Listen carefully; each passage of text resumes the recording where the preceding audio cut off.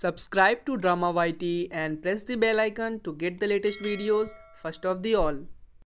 Hey guys, how are you? I am K2 and welcome to Drama YT. After watching a number of good C dramas, now I am confused what to watch next. If you have the same question, then you are at the right video. This is the third part of the video series where I am listing the most popular C dramas you should watch. Do check out the previous video as well. So now without further ado, let's get into it.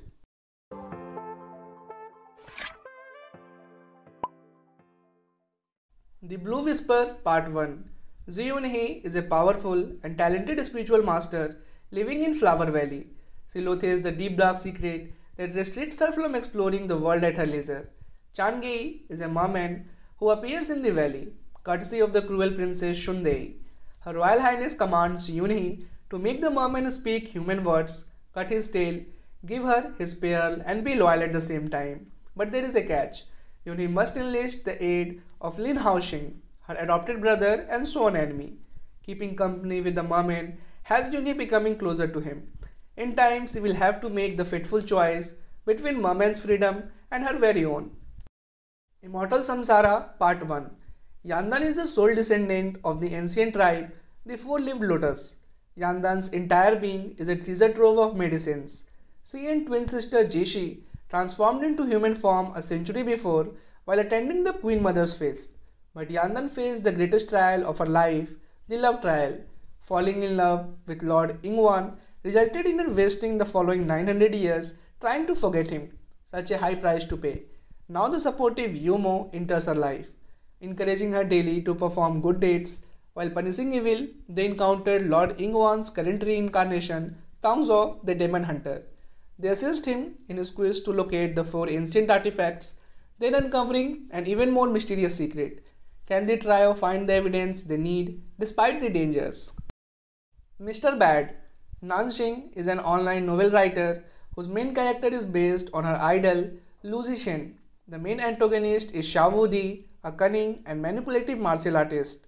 One day, Nanxing makes a wish for an unforgettable love in a fairy pool. To her surprise, Xia Wudi, the villain of her story, suddenly appears before her. She tries to avoid him, but Xia finds her and then threatens her into taking care of him. Unfortunately for him, Nanxing's wish comes with a special power.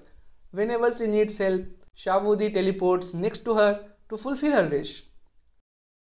Legally Romance At 28 years old, Shan Wei should have been well on her way to establishing herself in her career. However, working as a paralegal for Lu Xun, has so far proven to be anything but awesome. Harboring a grudge that dates back to their days as students, Lu Xun has made sure Shanwei's life is nothing short of a living hell. But when Shanwei becomes the victim of a tragic accident, everything suddenly changes.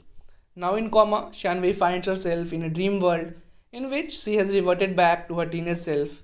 It is here, in the world within a world, that she finds a very different Lu Xun. Meeting him in this dream world, Shanwei discovers an entirely different sides of her personality boss. A dream of splendor. Zhao Panar is a smart and savvy house owner in Qiantang, living alongside her two best friends, Shun Shangniang and Shawnee Zhang. When she finds out that her fiance left her for another woman of a high ranking officer after becoming an official in the capital of Bianjing, she refuses to give up into her fate and decides to travel to the capital in search for the truth. On her way there, she crosses paths with both of her best friends whose lives she saves and then they follow her onward. Gu Qianfan is a commander in an elite capital squadron nicknamed Living Devil.